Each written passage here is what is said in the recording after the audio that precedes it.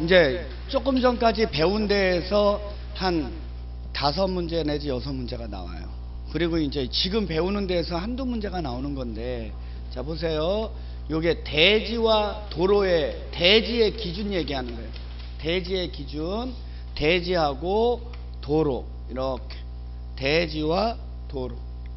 맞아요? 그래서 이제 대지, 대지란, 건축법상 대지란 필지를 얘기합니다.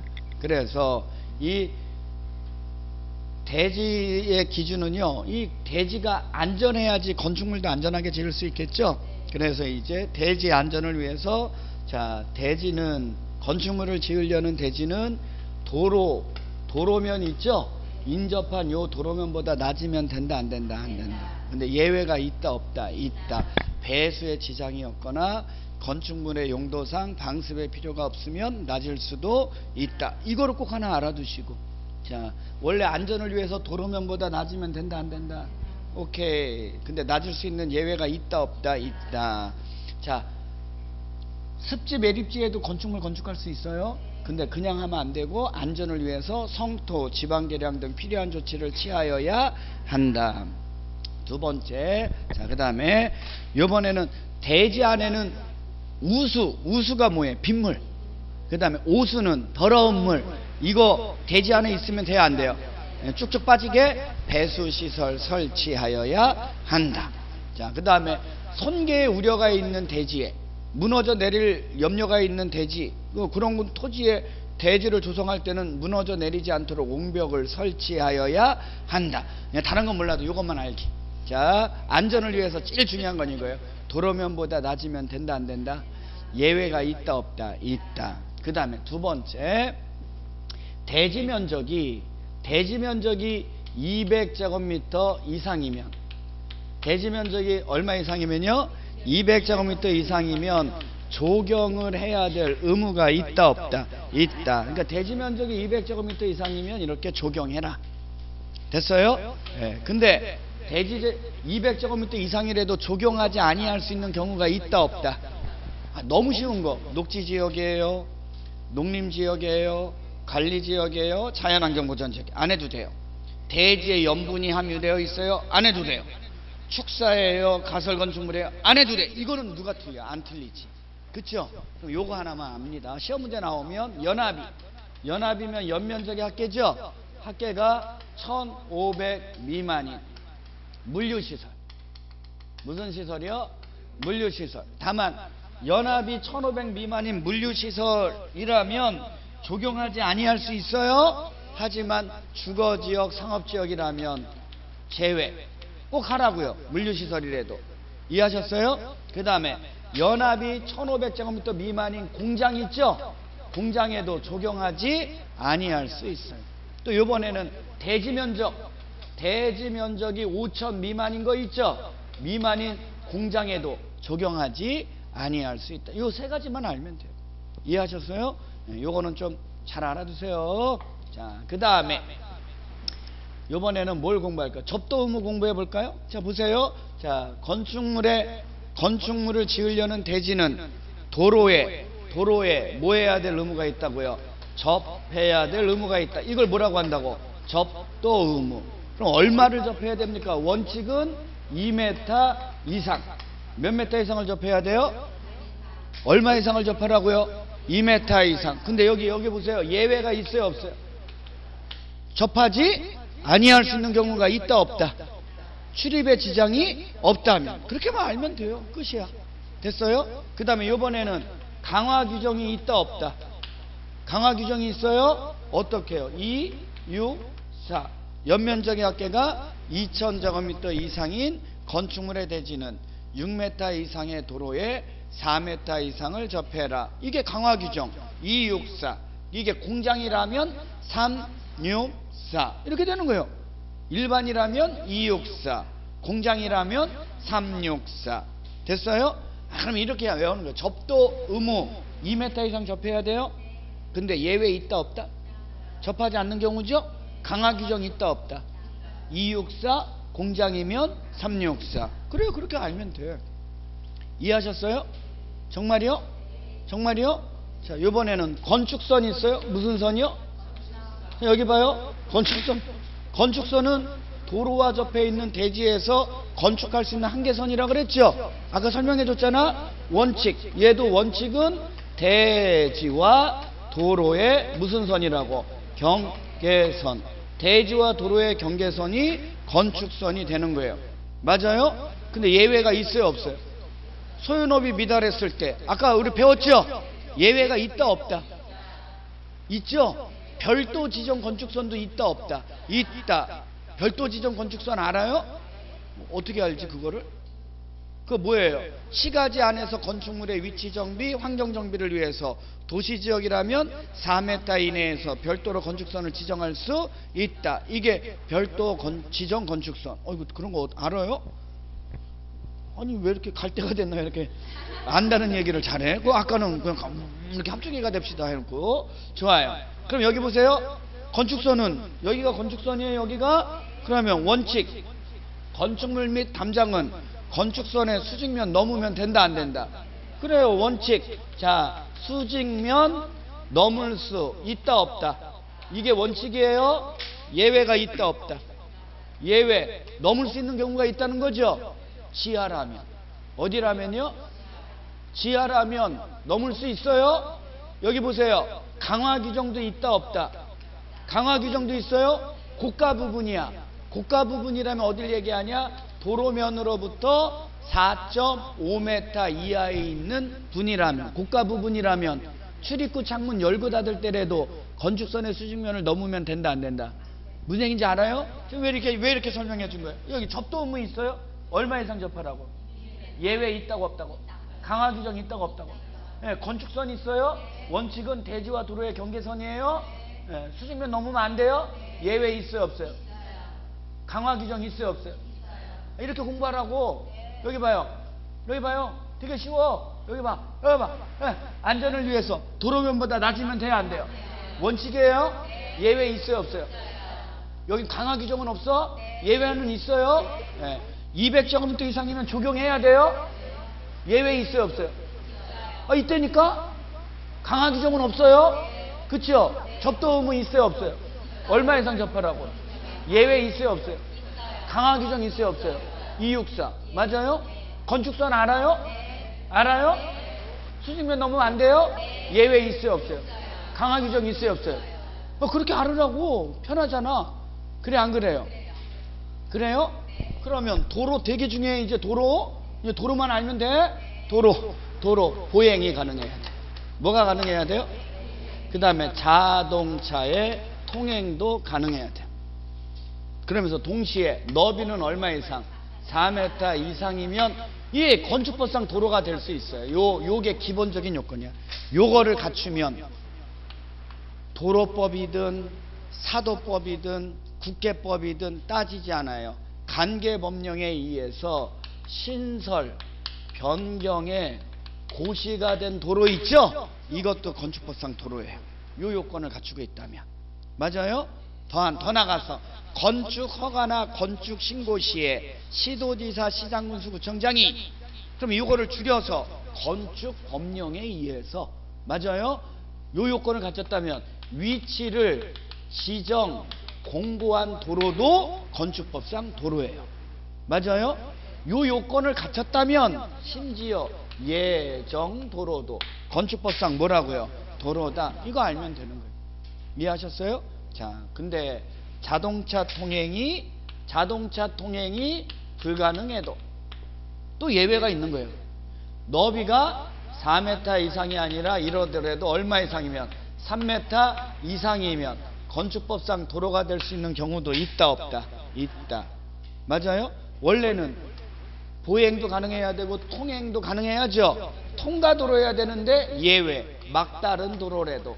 무슨 도로래도 한쪽이 막힌 도로래도 맞아요 일정한 요건을 갖추면 건축법상 도로가 될 수 있다 없다 있다 됐어요 자 여기까지 공부합니다 또 어느 거냐 이거예요 건축법령에 의해서 위치를 지정 공고한 도로 있죠? 이것도 건축법상 도로잖아요. 요거를 그냥 주로 소방도로라 그래요. 무슨 도로라 그래요? 무슨 도로요? 무슨 도로?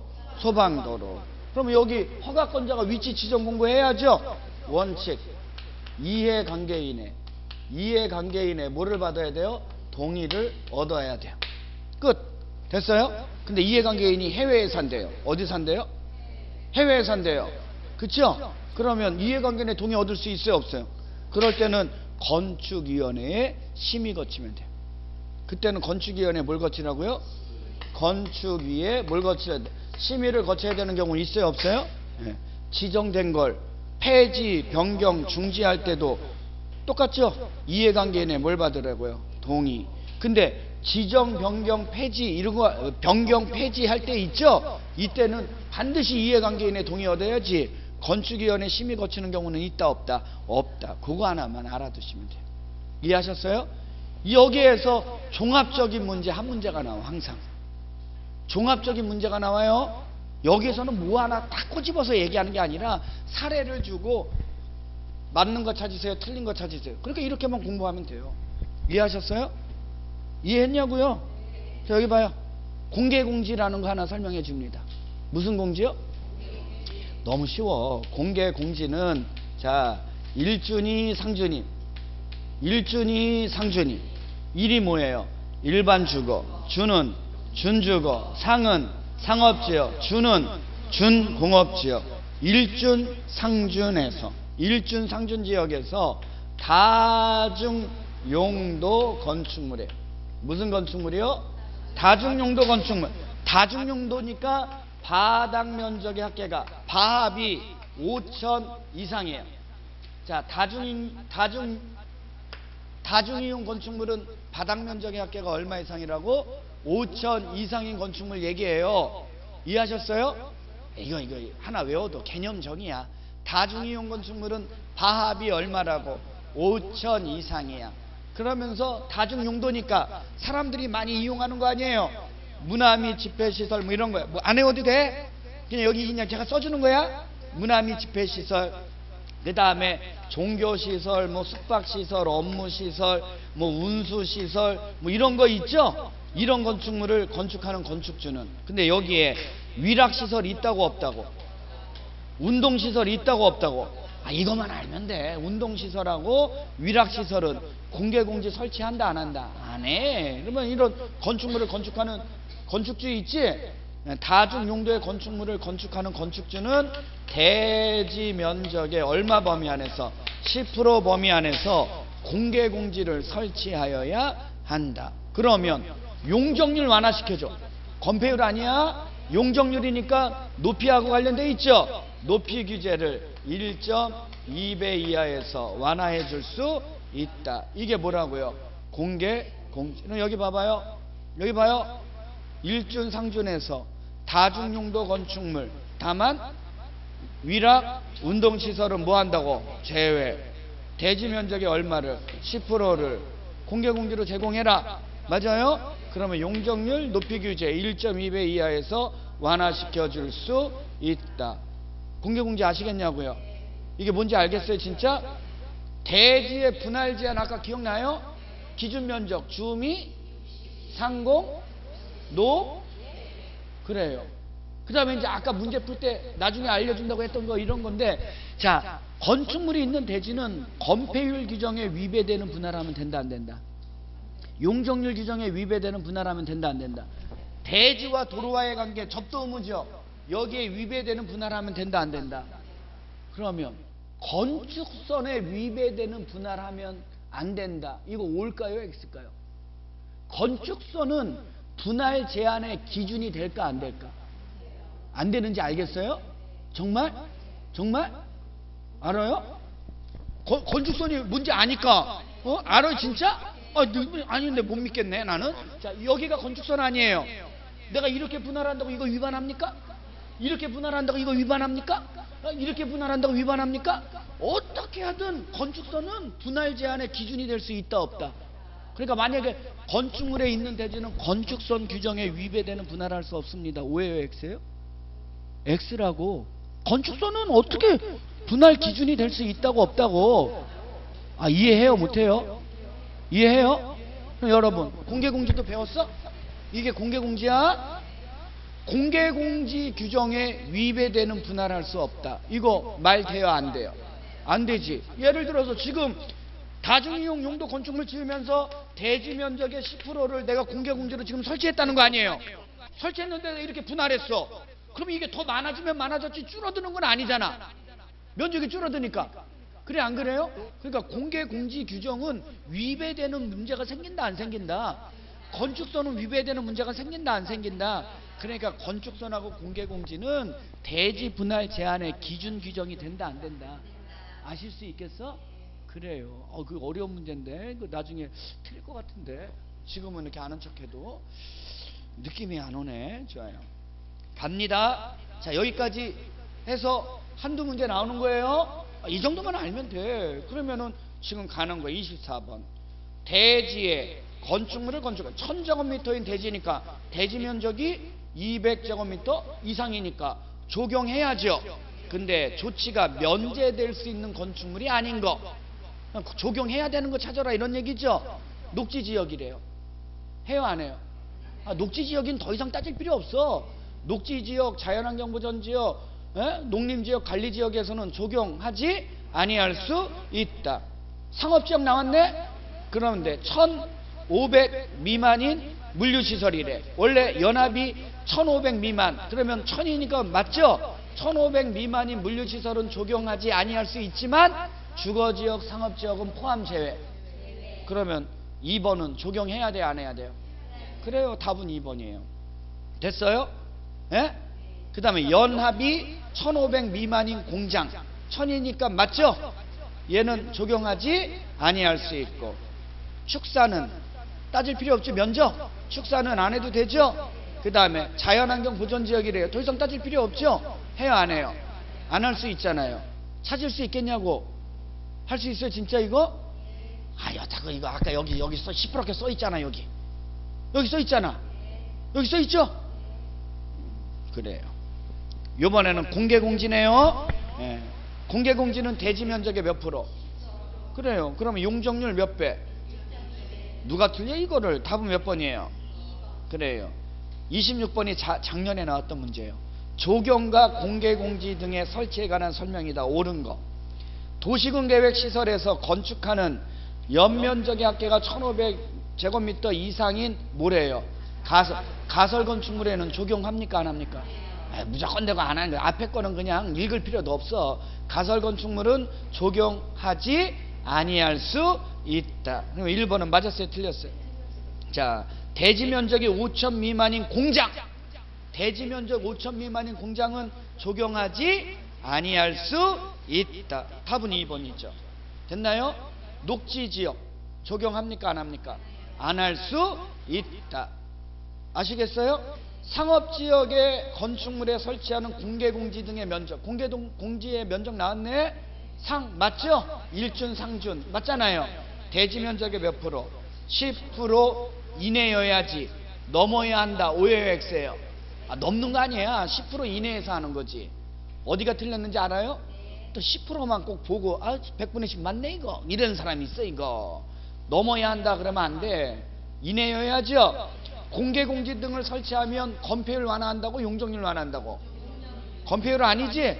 건폐율 완화. X예요 X 이해하셨어? 맞출 수 있겠냐고 이런 거. 자, 27번.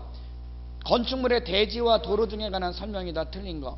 연합 2000제곱미터인 공장이래. 이 작년에 이거 시험 문제 나온 건데 이게? 연합이 2000제곱미터 이상인 공장이래. 공장은 264가 아니라 364 6m 이상의 도로에 4m 이상 접해라. 공장은 3,000제곱미터 이상이어야죠. 얘가 틀렸네요. 공장이 아니라면 264, 공장이라면 364. 쓰레기로 매립된 토지에 건축물 건축할 수 있다 그랬죠. 안전을 위해서 성토, 지방 개량 등 필요한 조치를 하여야 한다.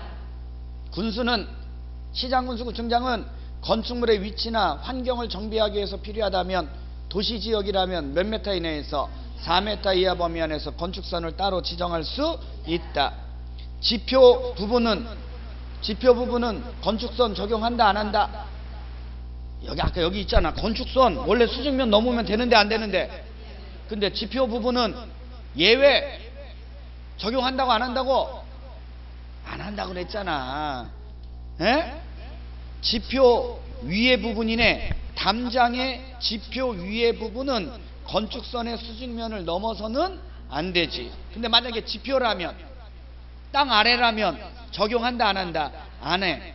지하라면 안 하죠. 고가 부분이라면 강하지. 고가라면 도로면으로부터 4.5m 이하. 좋아.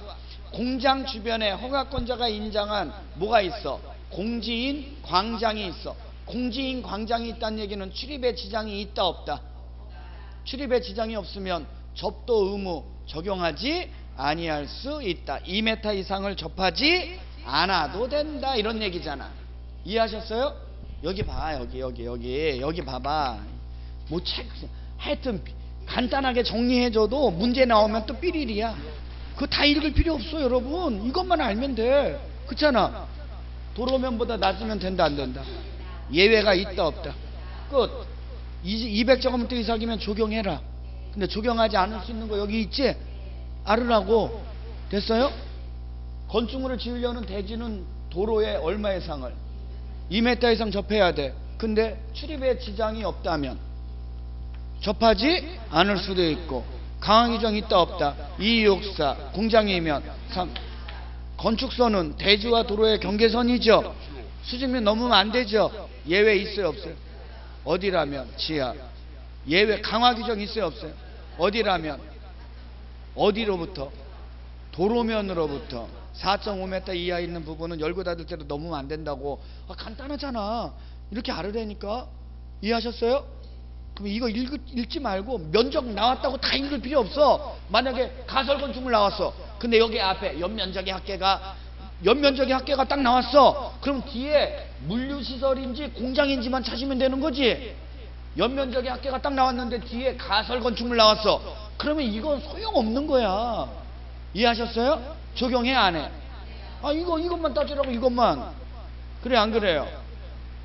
이해하셨어? 그래 이런 게 그런 요령 빨리빨리 갖고 풀으라고 이거 헷갈리라고 앞에다 막 이렇게 풀어줘 그럼 그거 일일이 읽어가면서 아 배워본 적이 없는데 이거 그러면 안 되지. 그러면 이게 문제 낼 때 여러분들 헷갈리라고 내는 이렇게 주는 지문들이 있어요. 그런 거에 절대 속으면 안 돼. 이해하셨어? 연습이 필요해 연습이. 됐나요? 자 28번 가봐요. 대지와 도로에 관한 설명이다 옳은 거. 손괴의 우려가 있는 토지의 대지를 조성할 때는 옹벽 설치해야죠. 그리고 옹벽의 외벽면에는 함부로 나오면 돼 안 돼? 뭐는 나올 수 있어. 배수시설하고 지지대는 나올 수 있지만 배수시설 지지대 외의 구조물은 나오면 된다고 안 된다고. 근데 지지대하고 배수시설도 나오면 안 된대. O야 X야. X지. 건축물의 대지는 6m 이상이 도로에 접해라. 도로에 접하는 건 얼마 이상 접해야 돼? 뭘 4m야 여기. 아유 주책이야. 아유 기분 좋게 끝내려고 그래도 아주 그냥. 아유 2m 이상 접하는 거지. 그래 안 그래요? 아 도로의 너비가 4m 이상이어야 된다는 거 얘기하려고 그런 거예요? 아 됐어요. 도시군 계획 시설에 건축하는 가설 건축물. 맞아요? 도시군 계획 시설에 건축하는 가설 건축물은 허가 대상이네? 앞에서 배웠지 근데 가설 건축물은 적용해 안 해? 안 해도 되는 거죠? 적용의 의무가 있다. 오해요 X예요 X. 연합이 5천 제곱미터 이상인 농수산물 유통시설. 농산물 유통시설은 사람이야 농산물이야? 농산물이 공개공지 설치해주면 돼 안 돼? 그럼 수박이 와서 쉬어 참외가 와서 쉬어 아이 파도 와 파도. 파도 와야 같이 가. 막, 당근도 와. 나도 당근이지. 그러면서 와갖고 거기서 쉬면 돼 안 돼? 하여튼 건축법은 동물 식물 따지는 거 아니야? 사람 따지는 거지? 자 그래서 4번은 두 가지가 틀렸어 첫 번째는 바닥 면적의 합계가 5천 이상인 맞아요? 농산물 유통시설은 제외됩니다 요거를 제외한 판매시설이라면 맞아요? 공개공지 설치해야죠 이렇게 돼야지 맞는 거죠 자 건축물의 지표 아래 부분은 어디 부분은 그러면 지하는 건축선의 수직면을 넘을 수 있잖아 얘는. 예외죠? 예, 그러니까 옳은 것은 몇 번이에요? 맞힐 수 있겠어요 이거? 예, 다 똑같은 문제 풀어보는 거죠? 어렵다는 문제가 29번이야. 갑은 대지의 높이 몇 메타? 4메타. 연합은 90 제곱미터인 건축물을 신축하려고 한대 연합이 100제곱미터 이내니까 뭐만 하면 돼 신고 1번 신고하였다 맞죠? 예. 갑의 대지는 인접한 도로면보다 낮대 원래는 낮으면 안 되는데 낮대 근데 배수의 지장이 없고 건축물의 용도상 방습의 필요가 없대 그러면 낮을 수도 맞지? 갑은 이 연면적 합계 990제곱미터밖에 안 되는데 공개 공지 설치해? 말도 안 되죠? 공개 공간을 확보하지 않았다. 맞지? 그러니까 네. 갑의 대지는 보행과 자동차 통행이 가능한 도로에 2m 이상 접해야지. 그러니까 3m 접했으니까 2m 이상이 아니야. 그러니까 마저 틀려. 맞죠? 네. 그 다음에 갑의 건축물은 창문을 열었을 때 건축선의 수직면을 넘어서는 구조로 되어 있대. 지금 높이가 도로면으로부터 얼마 이하니까? 4.5m 이하라면 열고 닫을 때라도 건축선 수직면 넘으면 된다고 안 된다고? 맞출 수 있겠어요 이거요? 너무 쉽잖아 이런 거. 이런 문제가 나온다고 최근에는. 이해하셨어요? 예, 넘겨보세요. 자 대지 분할 제한 기준 면적이죠? 주거지역은 얼마라고? 60 상업지역은 150 공업지역은 150 녹지 지역은 200 그러면 가장 작은 거는 주거지역이지 여기에서 답은 몇 번이에요? 1번. 이해하셨어요? 31번은 안 할 거예요 지금. 31번은 안 합니다. 대신 32번은 몇 가지 설명해 줄 게 있어. 32번. 몇 번이요? 32번. 건축물의 3층에 있는 출입이 가능한 노대의 주위에는 1.2m 이상의 난간을 설치해라. 이렇게 돼 있죠? 맞아요. 여기 보세요. 난간. 여러분 난간이 뭔지 알아? 건축물이 이렇게 있으면 떨어지지 말라고 쇠봉 같은 거로 이렇게 설치해 놓은 거 있지? 이, 런걸 뭐라 그래? 난간. 그러면 얘는 1층에는 난간 설치할 필요 있어 없어? 어, 떨어질 게 없는데 거기다 왜 설치를 해? 1층은? 그래 안 그래요? 그러니까 몇 층 이상? 아, 2층 이상 2층 이상. 아유 몇 층 이상? 아, 그 3층이라고 나왔다고 또 3층 이상이라고 그래 또 아유 2층 이상부터는 떨어지면 돼 안 돼? 그럼 거기에는 뭐 설치하라고? 난간. 그 다음에 옥상 강장이라는 것도 있어. 무슨 강장이요? 옥상 강장에도 난간을 설치해야 돼. 근데 난간은 예전에는 1.1m 이상이었어, 난간이. 근데 요즘 우리나라 사람들도 음식 잘 먹어서 평균 키가 커졌지? 그래서 이제 난간의 높이도 10cm 올렸어. 그래서 이제 난간도 높이가 얼마 이상이야? 1.2m 이상의 난간을 설치해야 돼요. 이해하셨어요? 그래서 지금 2층, 3층이니까 2층 이상이잖아. 그러면 거기에는 1.2m 이상의 난간 설치해야 돼, 안 해야 돼? 이해하셨어요? 네. 2번 건축물의 5층이 전시장의 용도로 쓰이는 경우에는 피난 용도로 쓸 수 있는 광장을 옥상에 설치해라 이렇게 돼 있지. 여러분 전시장은 사람이 많어, 전시물이 많어. 아이 평상시에 전시장이잖아. 전시장이면 마네킹이 많아, 사람들이 많아 평상시에. 아유 마네킹이 많지. 아유 전시물이 많지. 아유 나 진짜 아주 환장하겠네 진짜 아주. 아유 됐어 됐어 됐어. 아유 됐다고. 아유 뭘 오래 만나 만나기는. 여기 봐봐. 건축물이 이러, 자, 여기 건축물이 있는데 1층, 2층, 3층, 4층, 5층이야. 여기가 몇 층이에요? 5층 이상인 층인데 여기에 문화 및 집회시설이야. 여기가 문화 및 무슨 시설? 집회시설, 종교시설. 종교, 무슨 시설? 종교시설. 그 다음에 판매시설. 용도가 판매시설 또는 자 위락시설 중에서 위락시설 중에서 주점 영업 무슨 영업이요? 주점 영업. 그 다음에 여기가 장례식장이야. 몇 층 이상인 층이? 5층 이상인 층이. 여기가 이런 거예요. 근데 문화 및 집회 시설이라도 동물원, 식물원, 동물원, 식물원에는 평상시에 뭐가 많어? 아, 동물하고 식물이 많어. 평, 평상시에는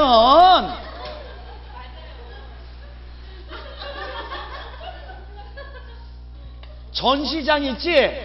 전시장 깜깜한 밤 이런 데 있잖아. 이런 데는 전시물이 있지 사람은 별로 없잖아. 그러니까 얘는 제외된다고. 아, 여기 봐봐. 여기 5층 이상인 층에 이런 용도가 있어. 그러면 요 옥상에다는 피난 용도로 쓸 수 있도록 광장을 설치해 주라는 거야. 왜 그러냐? 얘네들은 평상시 얘네들은 용도가 정신없는 시설이야. 여기 문화 및 집회 시설은 사람들이 평상시에는 평상시에는 됐어요? 영화본이라고 정신없어. 공연본이라고 정신없다고. 사람들이 종교시설은 은혜반이라고 정신없어. 판매시설은 물건 구경하니라고 정신없어. 맞아요? 위락시설 좀 주점 영업은 술 처먹어서 정신이 없어. 맞아요? 장례식장은요? 뭐 아니라고요? 운이라고 왜? 운이라고? 예, 장례식장 가서 울어요? 이분들 웃겨 죽겠네. 뭘 운이라고 정신없어. 여기는 고섭신이라고 정신없는 거야. 그래 안 그래요? 무슨 얘기인지 알아요? 근데 여기가 불이 났어. 밑에서 불이 났어요. 불이 났어요. 그 평상시에 사람들이 정신이 없다 보니까 불이 보일 때까지는 그냥 영화 보고 있는 거야 그냥. 어? 계속 고섭치고 있는 거야. 술 처먹고 있는 거야 계속. 그러니까 불이 나도 다른 다른 층에서는 불이야 그러면 막 사람들이 도망가는데 여기는 정신이 없어서 못 도망가. 그래서 나중에 딱 보니까 이제 불이 불꽃이 보여. 그제서야 이제 어 도망가야 된다. 그랬을 때 밑으로 내려갈 수 있어 없어. 그러니까 위에다가 피난 용도로 쓰다라고 여기 광장 설치해 주라는 거예요. 옥상 광장 이해하셨어요? 근데 전시장 같은 경우는 환한 대낮에는 사람들이 많지만 없는 시간대에는 물건이 많지 사람이 없잖아. 어, 환한 대낮에는 그냥 도망 다니지. 어, 동물원, 식물원, 동, 동물 구경 낮에 갔어. 근데 거기서 불났어. 그럼 구경하면 되지. 그런 거는 그래 안 그래? 그러니까 동물원, 식물원하고 전시장은 제외된다는 거예요. 이해하셨어요? 그럼 여기에다가 옥상에다 뭐 설치하라고? 광장 설치해. 그러면 불이야. 그래갖고 여기 나왔어. 그러면 도망가니라고 이제 영화 보고 있다가 그제서야 불이야. 울! 그래갖고 막 정신없이 여기 옥상으로 올라가. 올라가서 정신없다 막 이렇게 가다가 난간 없으면 떨어지잖아. 그러니까 옥상 광장 위에도 난간 설치하라는 거야. 얼마? 1.2m. 아유, 나 별걸 설명해야지, 뭐 진짜. 이해하셨어요? 3번은 아까 설명해줬지? 헬리포트 몇 층 이상이야? 11층 이상인 층. 근데 여기는 10층 이상인 층. 그러니까 벌써 틀렸지. 11층 이상인 층의 바닥 면적의 합계가 얼마 이상이면 만 이상이면 옥상에 평지붕이라면 헬리포트 설치해라. 이렇게 돼야지. 어디가 틀렸는지 아셨어요? 그래서 1번, 2번, 3번 설명해 준 거예요. 이해하셨냐고요? 됐어요? 자, 그 다음에 그것만 설명해 주는 거예요. 예, 이번에는 3, 3번 갑니다. 돼지가 이거 이거 비교해 줬나 안 해줬나 아까? 아까 해줬죠. 건축법하고 국회법하고 비교해 줬죠. 제가 지금 녹지 지역하고 미간 주거에 걸쳤으니까 각각 그쵸? 근데 녹지 지역 안에 뭐가 있어요? 건축물이 있죠? 예? 근, 이, 있어요 없어요? 녹지 지역 안에 건축물이 있어요 없어요? 예. 그래요. 그, 그 녹지 지역 안에 건축물이 있으면 어떻게 하라고? 건축물 및 대지에 대해서 다 어느 거 적용하라고? 다시 한번. 자, 가봐봐. 자, 여기 봐봐. 자, 건축법에서는 이렇게 대지가 두 개 이상의 용도 지역에 걸쳤죠? 그럼 얘는 무조건 되고 뭐가 속하는 거? 가반이 속하는 거 따라. 이거 아까 얘기해줬어요? 안 해줬어요? 어, 가반이 속하는 거 따르는 거예요? 그쵸? 두 개 이상 용도 중에 303제곱미터 이하 따진다 안 따진다? 안 따져. 그러면 지금 대지는 어느 거 적용하는 거예요? 대지는 녹지 지역은 녹지 지역. 맞아요? 미간 지구는 미간지 미간 지구 거 따르면 돼요? 이해하셨어요? 근데 녹지 지역하고 그 외 지구에 그 외 지역에 걸치면 각각 받는다 이거죠? 근데 만약에 녹지 지역 안에 있는 건축물이 뭐가요? 건축물이 미간 지구에 걸치면 또는 방화 지구에 걸치면 이렇게 돼야지. 근데 지금 녹지 지역 안에 있는 건축물이 미간 지구 이런 거에 걸쳤어요, 안 걸쳤어요? 그럼 끝난 거네. 그쵸? 그러면 자 건축물 어느 거 적용하면 돼요? 건축물은 다 어느 거 적용하면 돼요? 녹지 지역. 맞아요? 예. 그 다음에 대지는요. 각각 답은 몇 번입니까? 2번이에요. 아시겠어요? 그래요. 요번에는 34번 높이 제한 갑니다. 아유, 여기 이거 이것만 하면 끝이야 이제. 아유 힘들어. 이거 정리할 수 있어요 없어요? 있어요? 정리해야 돼 지금 여기 있는 거는 쉬운 거야 여기는. 자 여기 보세요. 여기 봐요. 자 건축법에서 높이 규제는 두 가지예요. 하나는 가로구역 단위. 무슨 단위요? 가로구역 단위로 허가권자가 누가요? 무슨 건자가? 허가권자가 가로구역을 단위로 높이를 지정 공고에서 뭐해서 지정 공고에서 높이를 주재할 수 있다 없다 있다. 근데 건축물의 용도나 형태에 따라 같은 가로구역이라도 높이를 다르게 정할 수 있다 없다 있다. 맞아요? 자, 이번에는 일조건이에요. 무슨 건이요? 자, 일조건은 갑니다. 전용 주거 지역하고 일반 주거 지역 있죠? 전용 주거 지역, 일반 주거 지역이라면 모든 건축물 다 일조건 적용받아요. 이해하셨어요?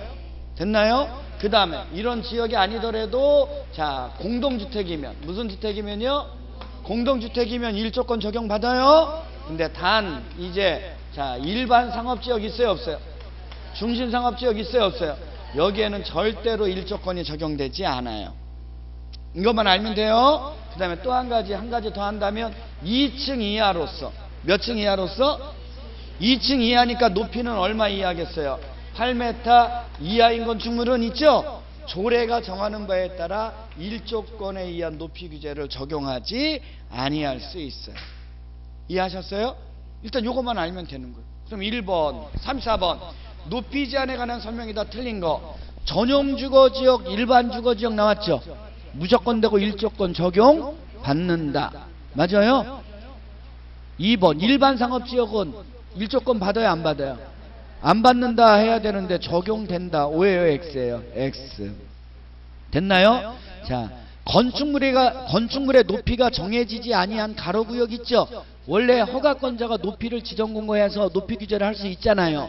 근데 허가권자가 높이를 지정 공고했다 안 했다 안 하면 건축물의 각 부분의 높이는 그 부분으로부터 전면도로 반대쪽 경계선까지의 수평거리의 몇 배? 1.5배를 넘을 수 없다. 맞죠? 예. 허가권자는 가로구역을 단위로 맞아요? 높이를 지정 할 수 있어요? 이렇게 하려면 건축위원회 뭘 거쳐야 돼요? 심의.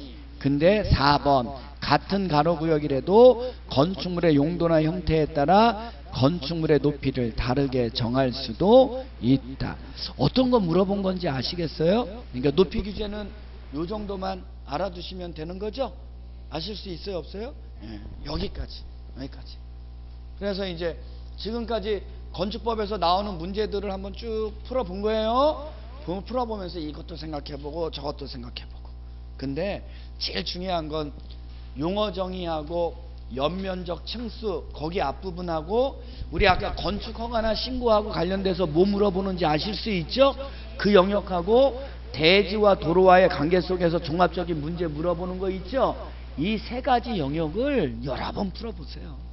문제인지 아시겠어요? 그러니까 집에 가셔서 행여 뭐 공부할 게 있다. 내가 국회법도 해야 되고 건축법을 공부해야 되겠다. 다른 거 안 해도 돼요. 일단 여기에 있는 거 있죠? 여기 준 문제 있잖아요. 이거를 많이 풀어봐요. 풀어보되 그냥 답 찾으려고 푸는 게 아니라 여기에 있는 내용을 공부하라고. 여기에 있는 내용을 뭐 하라고요? 어, 공부하라고 여기 있는 것만 중심으로. 책 찾아가면서가 아니라 그냥 이거를 보면서 정리해낼 줄 알아야 돼요. 이해하셨어요? 그리고 이거 한 10번만 풀어보고 다른 문제 풀어봐요. 다 풀리지. 웬만한 거. 90% 이상은 그냥 떡으로 풀 수 있어요. 얘기인지 알겠어요? 이해, 이해, 이해해요? 못해요? 네, 그래요. 하여튼, 오늘 특강 들으신 분들은 내일 건축법 하잖아. 그쵸? 내일 건축법 할 때 한 번만 딱 들어봐요. 편안하게 이렇게. 아주 내용이 머릿속에 그냥 확 들어와야 돼. 얘기인지 아시겠어요? 이게 한 번 들은 사람하고 안 들은 사람하고 똑같으면 안 돼요. 이해하셨어요? 한 번 딱 더 들으면 아 여기에서 이게 이걸 기반으로 얘기인지 아시겠어요? 다음부터는 건축법 일곱 문제 무조건 내가 맞히는 거예요. 하루 종일 걸리는 게 아니라 편안하게 툭툭툭툭. 이해하셨어요? 그리고 지난 어제 모의고사 보셨다며 네. 오늘 국회법하고 건축법 우리가 했죠? 그 문제 한번 풀어봐요. 모의고사 문제 한번 풀어봐봐. 이거 공부하고 나서 한번 풀어보면 아휴 내가 어떻게 이걸 틀렸네. 이제 이런 생각이 들 거예요. 얘기인지 아시겠어요? 뒤에 주택법 문제 있는 거는 여러분들이 공부할 때 주택법도 뒤에 있는 거 내용을 중심으로 공부하면 돼요. 다른 거보다 거기부터 잡아놓으면 된다고 이해하셨어요? 개발법, 정비법도 있어 사실은. 근데 그거는 한꺼번에 너무 많이 주면 공부 못 하잖아. 그러니까 국계법하고 건축법 중심으로 공부하되 시간이 나서 내가 공부할 쯤 되면 주택법도 한번 보시라고. 근데 주택법도 우리가 다음번에 건축법 하지? 그 다음에 주택법 하지? 그쵸? 그래도 우리가 남아. 남는다고. 시간이 2주가 남아요, 우리가. 한 주가 남을 거야. 시험을 보든지 아니면 내가 그걸 정리를 해주려고 그래. 그 마지막 시간에. 뭔 얘기인지 아시겠어? 예? 근데 여러분들은 그거를 한 여기에 있는 걸 먼저 풀고 오면 나중에 그거 정리할 때 훨씬 좋다고. 뭔 얘기인지 아시겠어요? 그러니까 그런 것도 좀 해갖고 열심히 공부하세요. 그래요. 오늘 여기까지 할게요. 고생 많으셨습니다.